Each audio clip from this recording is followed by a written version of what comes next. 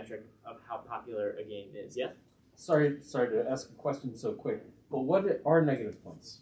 What are negative points? Well, we're going to talk about that a bit. I guess. I mean, quite simply, it's anything that gives you a negative point, of course. But then there's also punishing mechanisms and negative points that are disguised in in slightly different ways. So, like a you know a curse card in Dominion, it's a negative point, but it's also a card that sits in your deck and slows your deck down. It's got like two punishments to it. And we'll go through some examples as we go. Right. Yeah, but yeah.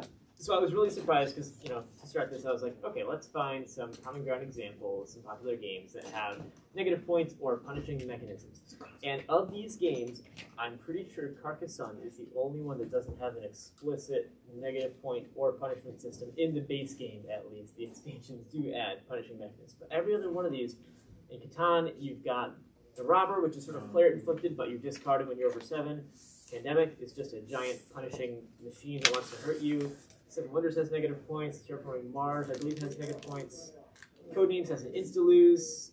Ticket to Ride, I mean, I've seen negative scores in Ticket to Ride, so anyway. True. Um, and then Azul has the. So I think it, yeah. Yeah, so.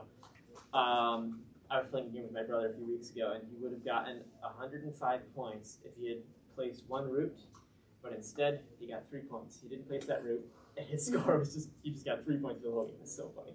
Anyway, um, so yeah, so what are negative points? So I think bad things happening to you doesn't necessarily mean it's a punishing mechanism. It's still bad and it's still unwanted, but if it's just a random event that has occurred to you in a game, or if it's another player attacking you, it's not necessarily a response to your actions, to things that you've done. And that's why I think So take that is separate from punishing, is what you're saying, right? Yeah, I mean, it's a player punishing you, but it's not a punishing mechanism of the game itself. It's not the game trying to tell you you shouldn't have you shouldn't have done this thing here. Right, So- right, okay. So this is this is kind of separating out a player's ability to punish, quote unquote, another player from the game itself, the systems that we as designers put in, using punishment or negative points to direct their their play or their behavior. Right. Okay. Yeah. Uh-huh. Um, okay, so here are the different types I broke down, and if anyone thinks of a type that doesn't fit here, or for that matter, if anyone has any comment or question, whenever, please feel free to raise your hand. Um, so these are the different types, how at least we were able to break it down, and if anyone thinks of any more, uh, I'd be happy to hear about them. So number one, negative points, of course. Lose a turn. We're not going to explore this one too deeply because, frankly, I feel like it's been established that it's not it's not great. It's not it's not a great system to have people play your game less. Um, cooperative games, I think just about every cooperative game is somehow punishing. It's built in somehow a variety of ways, really. Um, push your luck, you're punished every time you push too far, like I do in every push your luck game I play. Um, auto lose and player elimination, which are different, but I think can have a similar feeling for players. Damage and combat, which again often is other player inflicted, sometimes it's the game inflicting upon you. Um, gambling and bluffing, you're punished by losing money, you're punished when your opponent can read you correctly, and then some other stuff that falls into more uh, weirder categories. Yeah? We might get to this in a little bit, but I'm curious: are all of these equal? Are all of them equal? What do you equal under what under what Um, metric? So we're talking about different types of punishing mechanisms. I'm wondering if you weight these similarly for your case. Right? This is a case for negative things. Is this a case for lose a turn more frequently in games, or are there certain ones that you think are better Hmm. mechanisms than others to have in your game? I don't know. That's a big question. That's kind of. I guess that's kind of. Well, I, and I would say, I mean, my personal opinion would be these are all completely weighted, but the weights are different based on what your goals are. Right? I'm sure it would take me a minute, but we could probably come up with a reason lose your turn is good or a context, right? A specific situation Mhm. where lose a turn is great. Yeah. I think it would. I think it would be a project. I think it would take some doing for us to figure that out. But so clearly, that one is lower for most situations. Uh, negative points does true negative numeric points don't make sense if you don't have a point system, right? So clearly, there are some contexts to these where it makes more sense, or contexts where it makes less sense. But I would also say that if you were talking about an argument for these things, and we'll get into a little bit more, but the the excitement element, I've sat down with game designers. Oh, my game is boring. Well, okay, maybe that's because there there isn't uncertainty, or because there isn't this risk. These are ways of introducing mechanical risk. The game is telling you this is going to be hard or risky or potentially very punishing based on how it goes for you.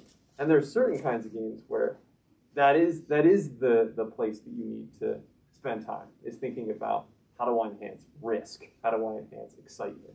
It's feedback, right? I mean, Yeah. giving players points is one form of feedback, and then telling players don't do this is a, is like not just the opposite. It's it's weird. It's different. Avoid this thing. It's so different than pursue pursue this thing. Um, I had a point. Now I'm losing it. Well, Must have been a I'll one. What's that? Must have been a negative Yeah, one. it's probably negative. okay, so cooperative games at first. I think this is fascinating. It is just because I mean, like, what cooperative game is not punishing? I mean, one I thought of was like the crew. Is it punishing when you lose a mission? Like, yeah, I guess so, but uh, not in the same way Pandemic punishes you with a bunch of cubes, and then oh, what's that? You struggled to get rid of those cubes. Well, here's a bunch more, and like, what's that? The city's a problem for you. Well, we're gonna put it on the top of the deck so you try to get it a few turns. That's like punishing you mid mid experience. And I particularly think this highlights your definition of, because I'll admit it is his definition of the punishment is it's the mechanics driving something negative, not another player. Well, in a cooperative game, you have nothing but right. Every with with certain exceptions, I'm sure.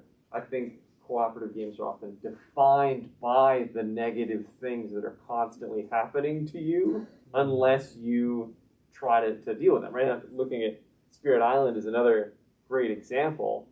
Every single round, literal white plastic people show up on your island and try to turn it into New York City.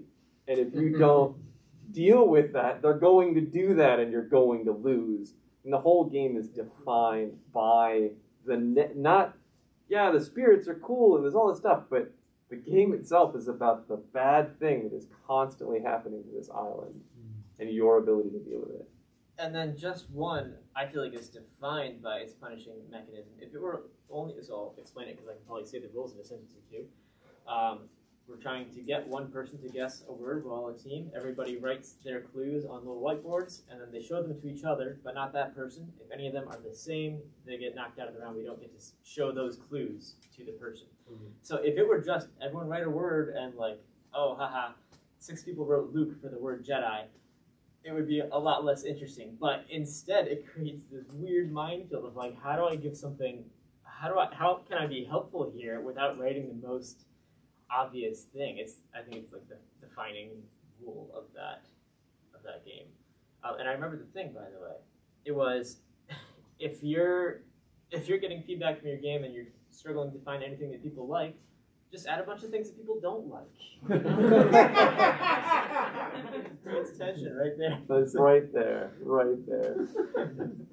Um, but yeah, I mean, cooperative games. I feel like we could talk about the punishing mechanisms in them for a while. Like Forbidden Desert and Pandemic, and Spirit Island. I think I haven't played it actually, but they both make the whole system more difficult to work with. Right? It's like a, it's like a lose more almost. The worse you're doing, the worse you're about to. But, be or at the very least, uh, the default, I think way too much maybe about the, the systems and the way the systems work. And really, as a designer, we're making an, an automata, we're making a system that is kind of a machine.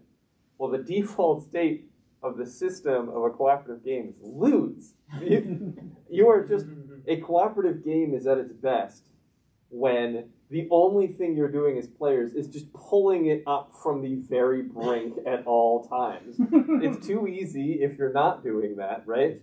And so, how do you do if if you're a designer who's thinking, "Gee, I really want to be the next Matt Leacock. I really want to design a cooperative game." For one, know that pandemic was an accident, and for two, really understand. I think it, it comes from understanding this balance of punishment and and fun, right? Like the excitement and the risk and the reward, and what are some of these tools that you can use as a designer to add just the right amount of punishment and negativity.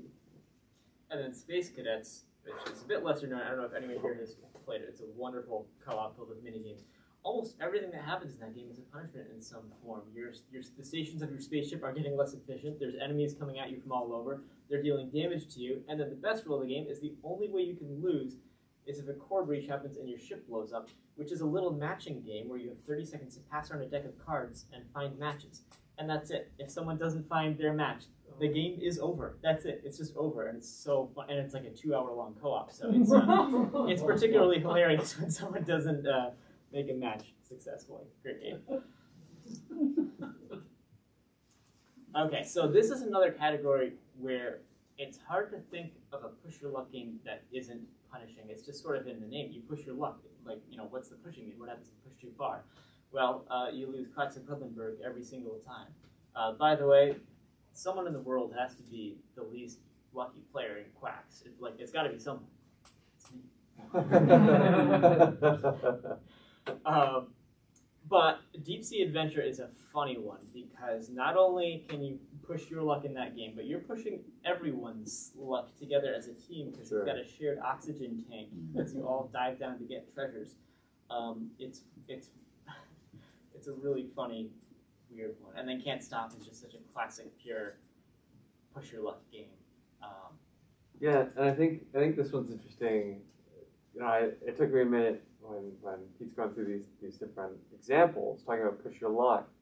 I think something that makes that thrive is when a push your luck game convinces you that whatever it is that you don't quite have is already yours and you really want it. Right? These ingredients that you're pulling out in quacks, you know exactly how good these are. You know you want to keep going, right? And and so it's just this this loss aversion of I don't want to lose this versus the fear of missing out of but I don't want to get less than Josh did, so I got to keep going. Hmm. And so they're really a lot of these sit between what are two psychologically speaking sort of two negative things, right? Fear of missing out versus loss aversion hmm. and how they balance that and then somehow turn it into fun. Like the two two anxiety inducing aspects of the human psyche turned into fun.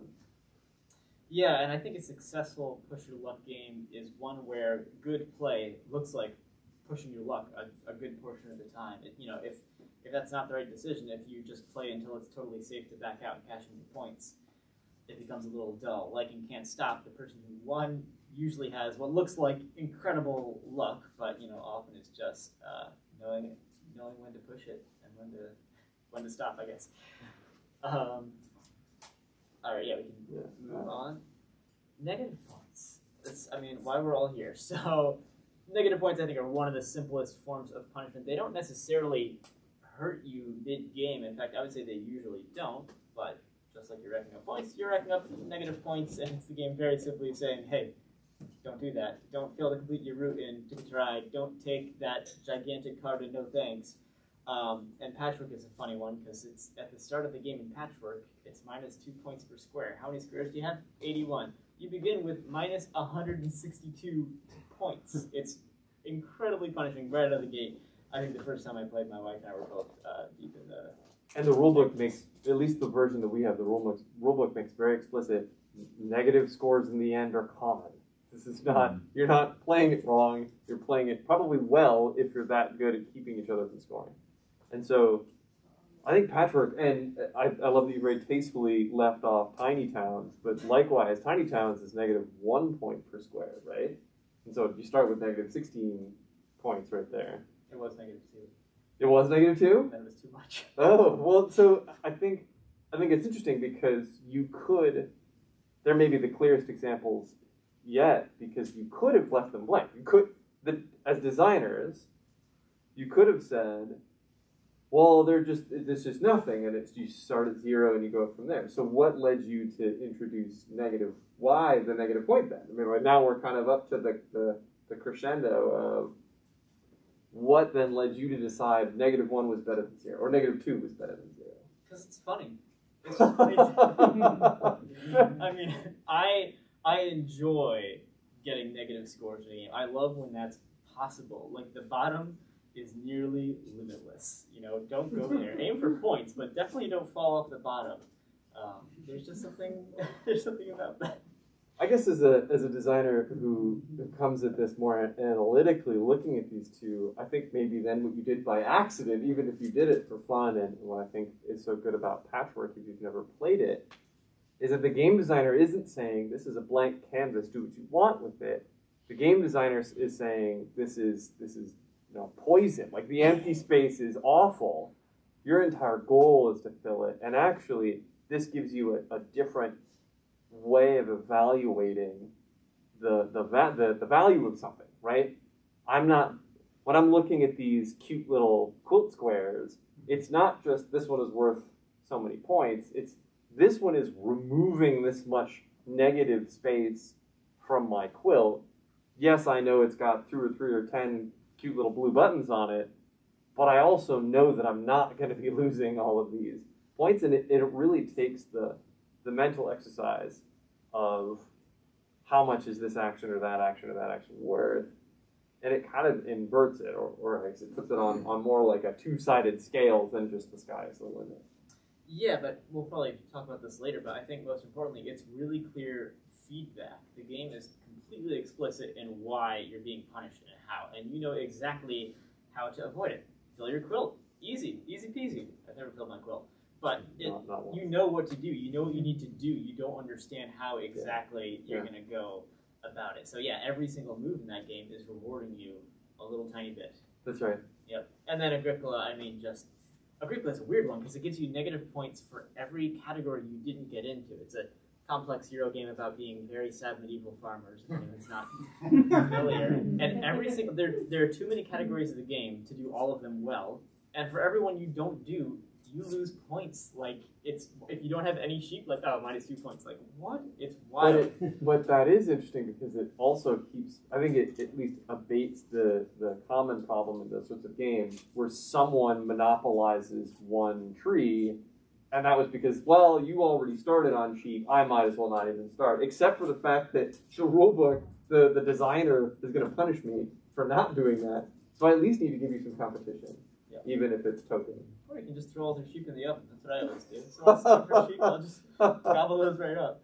And then Point Salad, I think, is a really interesting one because Mm. it uh, it's a game where you've got these vegetable cards you're collecting, and they all start with no clear value. You take cards that tell you, hey, now for you, tomatoes and lettuce are worth two points. But it also tells you, oh, by the way, cabbage is minus one. So you inflict those negative points upon yourself. No one gets a negative score on Point Salad, but you're devaluing these things. It's like a some kind of some kind of self punishment mechanism or something. Sure. It's yeah. That I guess that one is almost rowing in the opposite direction. It's making you specialize. Yes. It's making it so that you have to start trying to monopolize one thing at the direct expense of another. Right. Yep. Yeah. And once again, you can usually pretty easily tell this is exactly how much this of is worth to me now. Sure. Sure. Yeah. So And then Ticket to Ride, uh, not fulfilling your your uh, routes. Your tickets. what we talked Yep.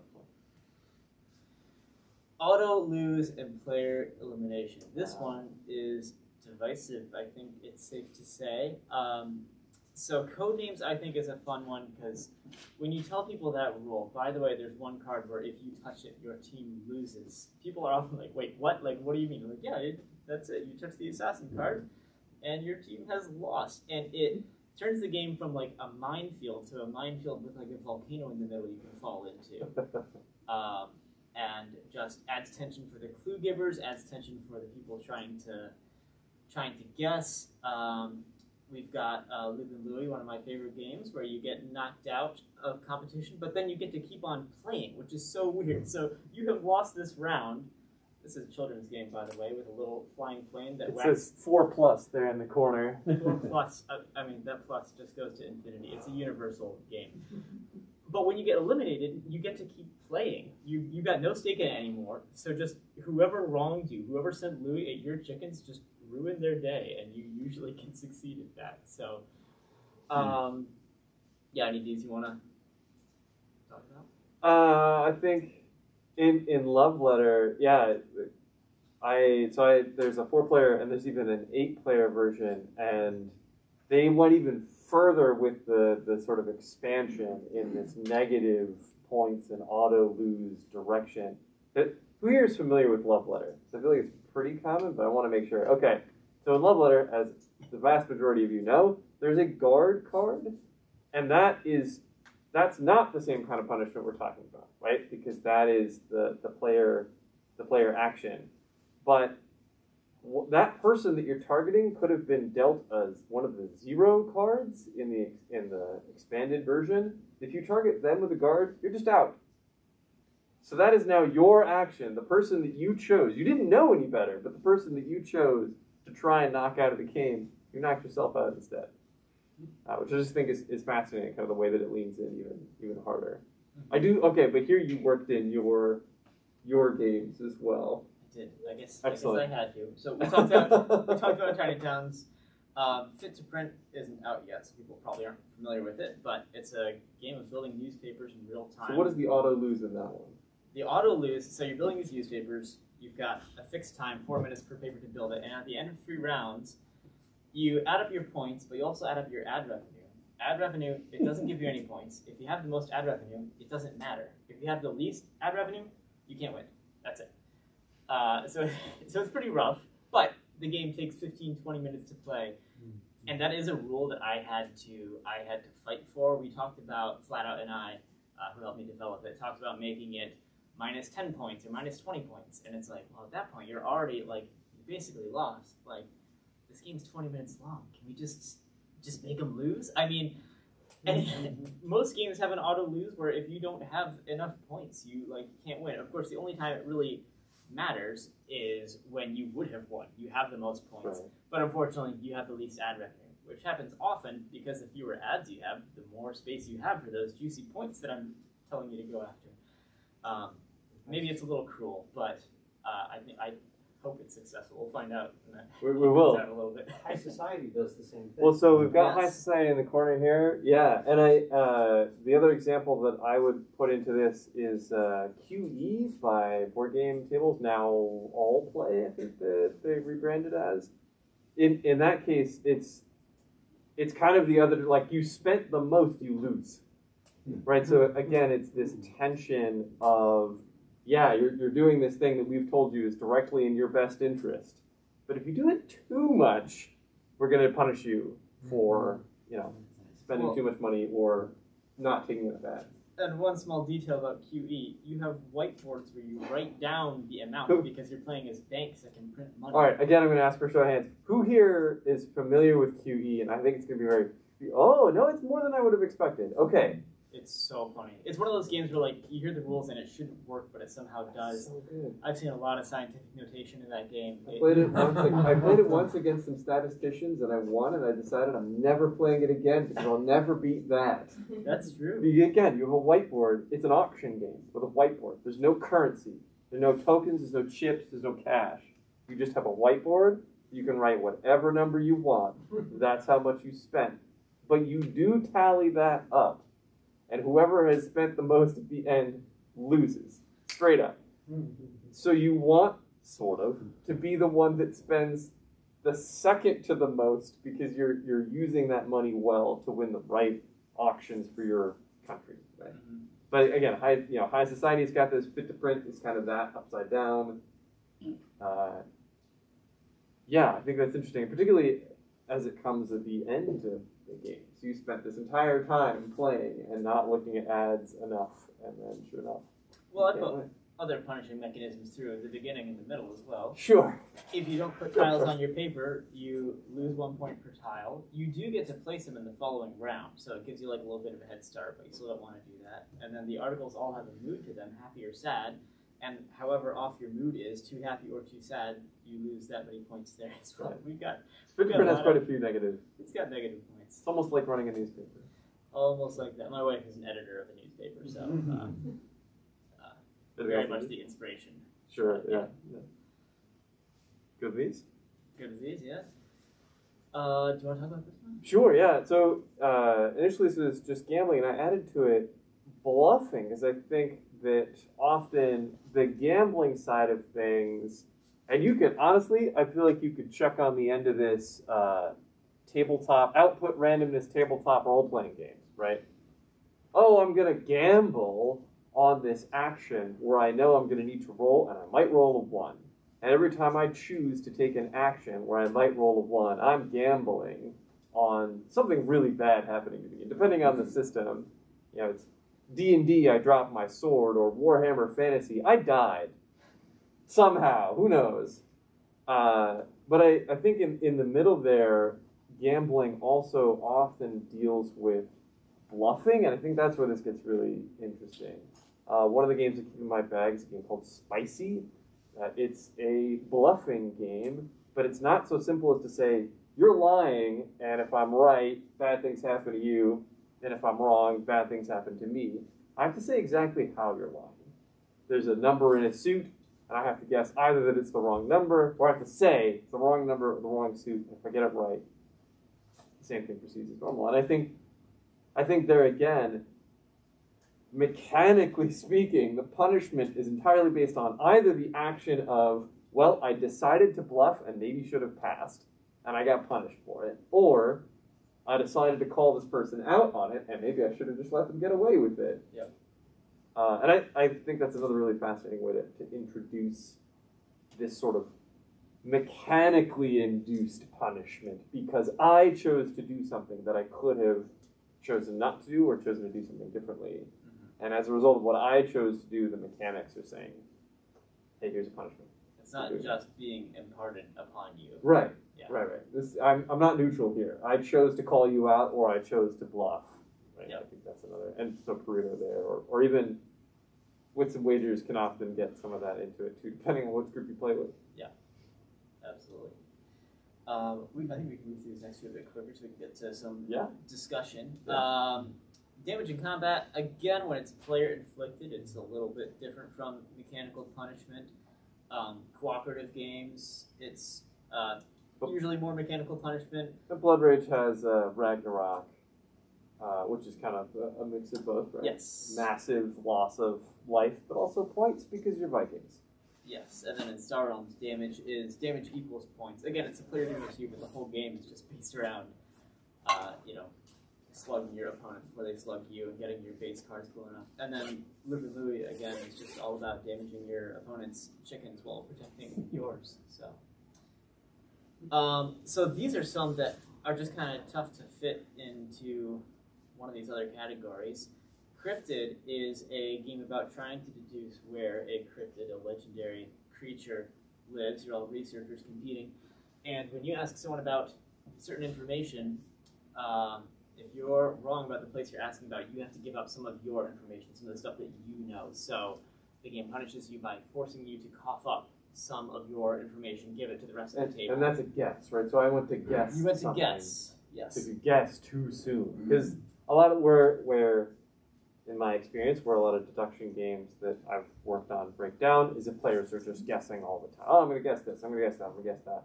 And so I again, we're directing the feedback, saying every time you do that and you're wrong, you have to give the other players on the table information, which is directly bad for you. So, To be clear, the only thing you can do in cryptid is guess.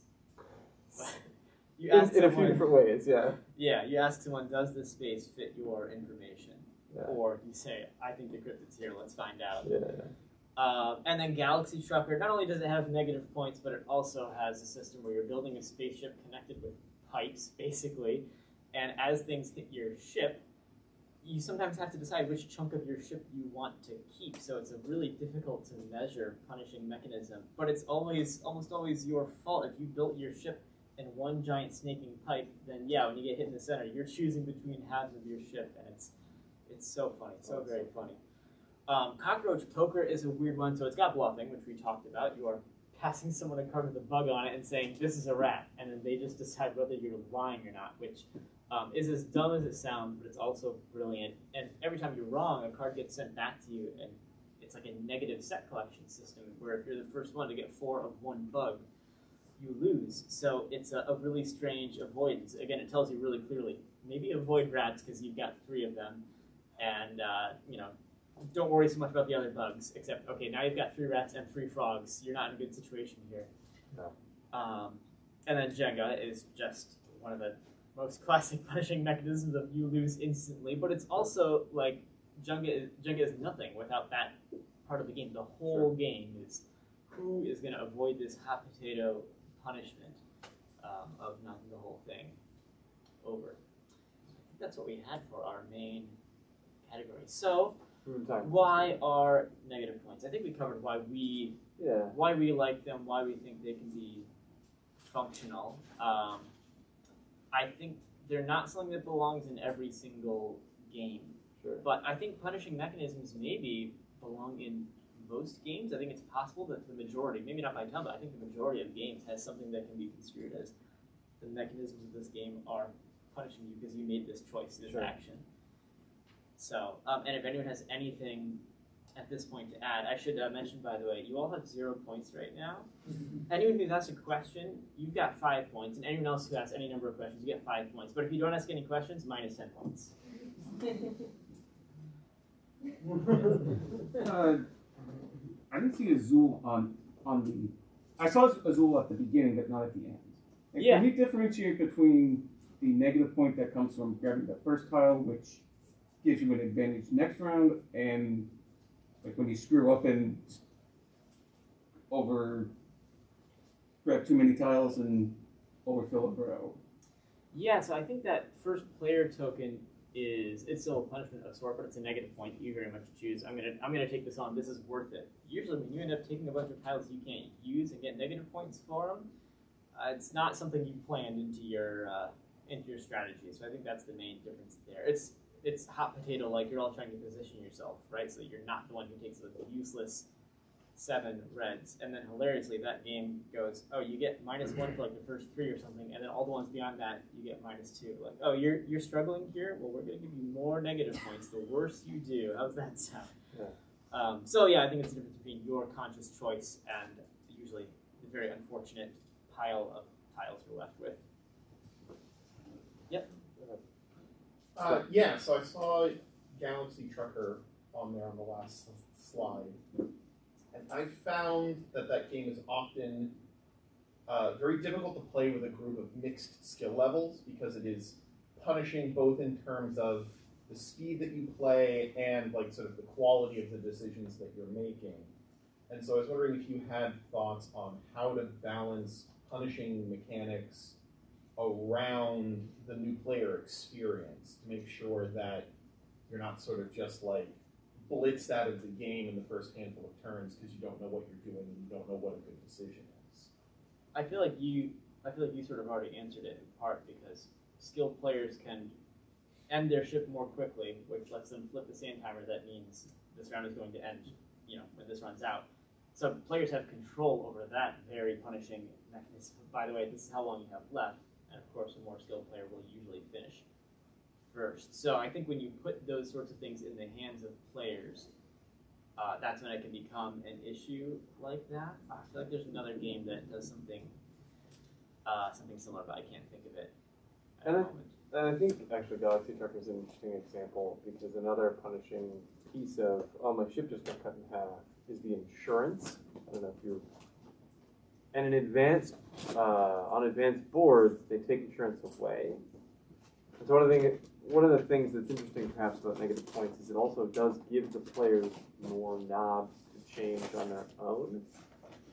Uh, a game that does this particularly well, but I can't think of negative points for, is Oceans and it and it just clearly lays out here is how to tweak the game for your preferences. And I think in Galaxy Trucker that would be interesting if they said, hey, if you have mixed skill levels, take the insurance off of all of the advanced players. What's the insurance again? So insurance says so on each board, each tier of ship, you have a little pile, a little space on the board where it says all the broken off bits go here. And it says a maximum the insurance is the maximum amount that you will have to pay at the end to cover the loss of all of those sewer pipes. And so uh, some of the boards just don't have that space on it. And and that is saying you can lose infinite money. You can lose as much as you decide to put on your ship, and it later gets busted off. And so, for advanced players, for beginner players, you could increase the insurance to, to make it to oh you don't you don't actually lose money on top of losing your ship. But for advanced players, take the insurance completely off. Say great, every piece you lose, you got to pay for. Uh, but I think again, like that's that's giving them a very explicit. I don't think it's in the rules that way, but that would give the player a very explicit way to tweak it by the negative points. So Another class of games, I don't know if you um, would add this as another category or not, um, are the, the heavier games, like I'm thinking Brass and Railways of the World, where you're choosing negative points to gain uh, as a loan, right? You're paying points for money. We- cur- points for currency, I think even uh, Tinner's Trail kind of allows you to trade resources for points early. Uh, it's not quite negative points, but it's trading resources for points early. Um, I so appreciate you calling that out. We didn't have specific examples, but that's one we had realized just before starting the panel. You're exactly right. And a simpler example, uh, if you're familiar with Machi Koro, right? So not even just the heavier games, though those are fantastic examples.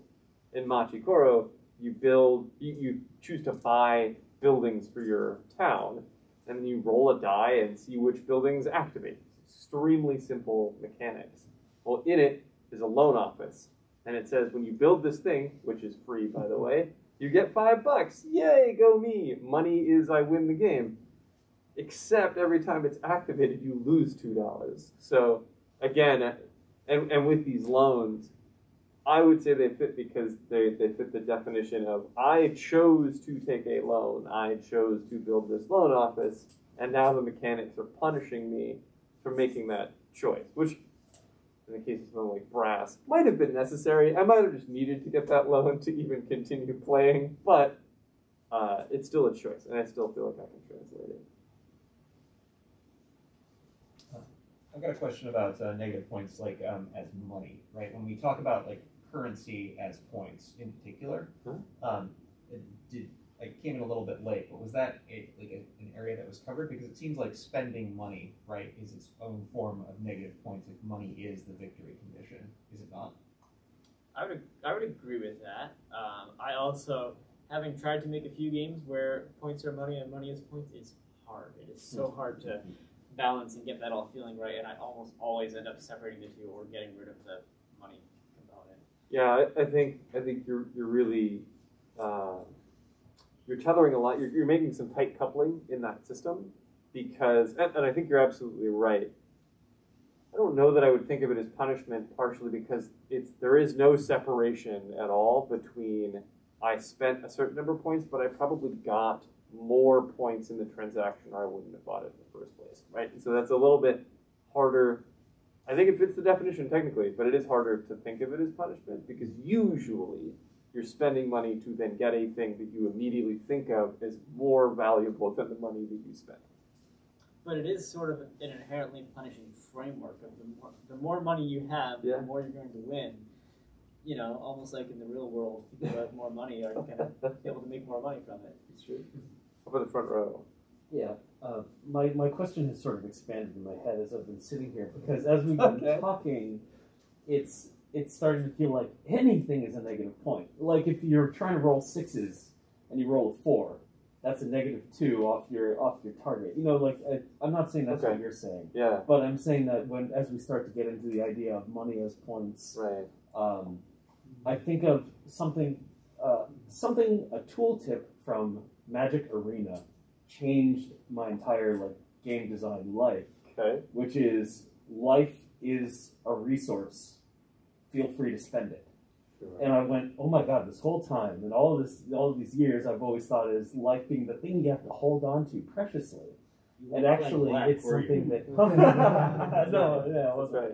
green green player. So yeah, but like that turned everything entirely over. I- um, I constantly remind my son, it doesn't matter how much help I have as long as you get to zero first. yeah. Um, so so I, I feel like this inherent when I'm thinking about negative points, I feel Yeah. this resistance to going too far beyond the pale of what you sort of presented initially in Okay. terms of um, you know, like here's a card you have to hold on to. It might give you X benefit, but also at the end of the day, you're down. You're down a little bit, and that's that's the interesting choice that a player has to make when they say, "I am putting myself into debt in order to do this thing," and that's really interesting. So, with that in mind, and I'm looping this back into my original question, Uh, with bluffing games like Perudo or anything else, is the negative point system your lie? Like you you have uh, you've got four fours in your cup. Yeah. And you know you're tapped out. Sure. But you can give yourself a disadvantage, the disadvantage being dishonesty, you know, being like the fact that you are now in debt to your own words Mhm. by saying, uh, I've got five fives. You know, and that's how you progress is by actually adding on negative points. Is that too am I am I taking have I taken this too far? Well, I feel like in Perudo and Liar's Dice, which I believe are more or less Yeah. interchangeable in their rules. I, yeah, I mean, to think of I- lies as punishment. I would say that it's too far because, again, if you go back to what I think is an excellent definition of a punishment, in, in this case, or punishing mechanics, it's the syst- the mechanics themselves are the thing giving you negative points, right? Negative points was a was a, a cute name for the panel, but really it's it's the mechanics punishing you, the mechanics providing negative feedback, right? That's I guess even even more more more more academic. We as game designers are constantly introducing new positive feedback mechanisms. Here's some points. Here's something for your tableau. Hey, I gave you some new cards.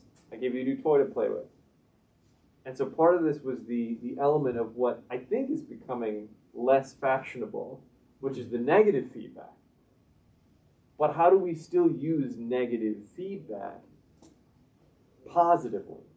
Right? And so in the Perudo case, I don't think it's the bluff that's the negative. It's getting called out on the bluff. Right? It's it's bluffing and having that gambit not pay off. Uh, another another game that I I think about where it's not quite directly mechanically punishing, not quite the negative feedback. Uh, I play a lot of Radlands lately, and there are a lot of gambits in Radlands. Where I'm going to try, I'm going to invest all on this strategy, and I know if I if my wife punishes me for this and I die, it's because I invested too far, and that I think is a form of negative feedback that the game is providing me. That that was too risky. That was too ridiculous a plan. Uh, though it's no less fun to try. In the second row, you had a question. Yeah. So um, you talked about um, player elimination as a negative point, and most I believe all the examples you show are examples where player elimination happened at either the act of eliminating is the end of the game, or when the game ends, someone could be eliminated during circumstances. But I think there are some historically popular board games that we might consider bad that player elimination is inherent to them. That people are eliminated mid-game into the game, and then they're not playing anymore. Are there any games that you think are successful designs that have pre-end of game player elimination as a negative point? So one of the ones that was on that slide was Love Letter, uh, and that one is I I would call successful, and I would say is a just a really good, really fun game, but is eliminating. It, you're constantly whittling down the, the players. Isn't Love Letter you first? There's a whole not not sorry round by round yes, but Love Letter you you you play rounds and you still even if you lose a round or a round you still you still stay in the game right? And I actually, like we were talking about with lose a turn, so Pete, you said, hey, maybe having people play less of your game isn't a good way to go about it. I actually think that quick turnaround times on what a game can be is the way to introduce mid-game player elimination without them playing your game less or them losing interest. And it, okay, it's a round, right? We called it a round in Love Letter, but it's really the game. The, the game is get to a heart, and we repeat that game over and over and over and over again. It, I uh, I think of the Hoyle style, these old card games. A lot of those are repeat this game until someone gets to so many points, right? And, and Love Letter to me fits right in there with, oh, okay, yeah, you got knocked out of the game, but you'll be back in again for the next round as we, we kind of go around. Did you have anything to add to I guess I would say Tiny Towns has a form of that. You- You're done with your round because your board is filled up with Yeah. junk you can't use. You're not That's true. necessarily out of the competition, but your your experience can end long before Yeah. someone else's. Yeah. Oh, I Yeah, so we have a second one in the third row. I was just going to bring up the fact that like some games do require negative points. Like, like poker, it's a pretty popular thing that everybody knows. And if you ever played it with like kids, you're just like, oh yeah, it's free money, whatever. The game plays totally different. Like, it doesn't play like you would think poker plays anymore. Um, just because there's no penalty for losing, there's only winning, so there's no reason not to gamble because I can just go grab, go in the bag, grab another hundred chip points, and give another go. Um, so some games like really require to get the right experience in the right field. and especially for combat games, you expect to lose stuff when you engage in combat. If you don't lose anything, it doesn't quite feel right to the player, you might think it feels too too giving or too forgiving. Sorry. So, um, so whenever I hear um, like positive and negative, I, um, I always always kind of find it natural to think about like opposites. And so there's a lot of like sort of positive things and negative things that have natural opposites on the other side of it, like player elimination. There's also auto win conditions, right? Um, you know, cost. There's also things that get you just more money and, and things like that. Input output random can give you positive or negative results. Um, so I guess sort of in a weird theoretical sense, I guess I'm wondering um, if there's any examples you can think of of something on sort of one end of the spectrum that doesn't really have a natural opposite. Like, is there anything that you can do with negativity that literally just doesn't have an equivalent on the po- or uh, an equal and opposite on the opposite side, or vice versa, I guess. That's tricky. Yes. So I would look at it slightly differently. Uh, I think some have a direct, uh, a direct opposite. But what I would, what I would sort of caution is, even if some of these are easy to put on a, on a clear binary spectrum, like like auto win or, or lose, um, like as some of the questions you're getting to, I think some of them aren't so clear. Am I spending money or am I losing money? And I think that what I would look at is positive feedback. Part of why I think designers use it so frequently is we get to a point in our game design where we know where the fun is. I know the fun of my game is this. And I also added these things for some reason. Hopefully it was a good one. But this is the fun. So what I'm going to do is I'm going to give you positive feedback for doing this one because this is the fun one, right? And actually, one of the reasons I might have introduced some of these things is not to pull you towards the fun, but to push you away from the not fun. We talked about uh, specialization and, and trying to avoid letting players specialize by penalizing you for being too specialized. Or vice versa, I'm going to penalize you for not specializing. Now I'm going to penalize you for having too many things, right? Those are systems that can't pull you to the fun, but they can push you away from the not fun. And I think that a lot of those you you can't necessarily find a direct binary. This is the opposite of that.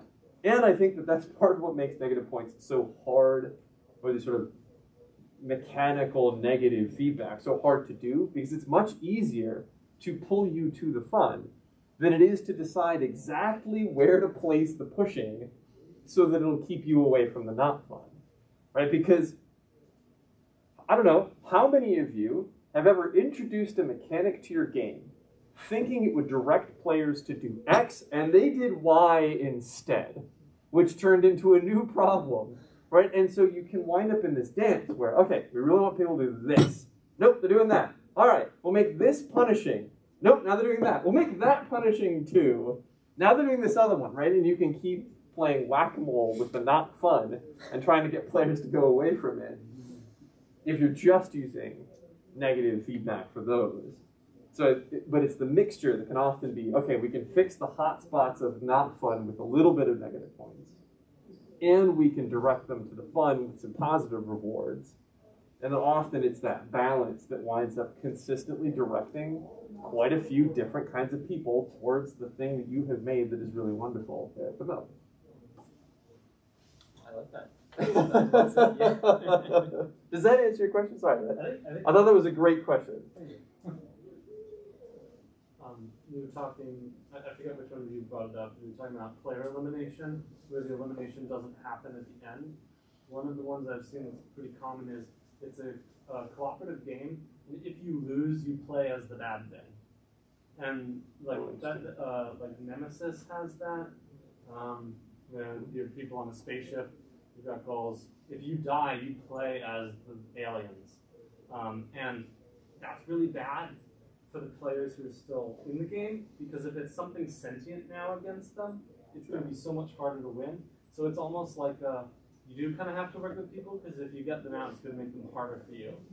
That is an So- example of where you can you can te- you're technically out of the game because your character is like dead, but you're not you're not out out of the game. It's been like a domain shift, you know.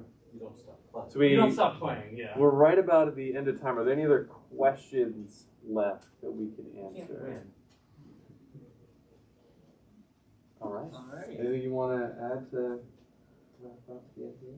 Negative points are great. They make, they make your points even better That's right. because there's this worse thing now. I just think it's, a, it's an extra tool you have to. That's right. That's right. Yeah. Are double negative extra points really, really bad, or are they positive? Double Mm. negative. Double e- double negative extra points. Extra point. The extra is throwing me. I feel like they've got to be they've got to be positive, right? Because that's Right. how that's how math works. Yeah. Good question. That'll be That's right. next year's panel. Double. Double negative extra points. All right. Well, thank you. Thank you, everybody.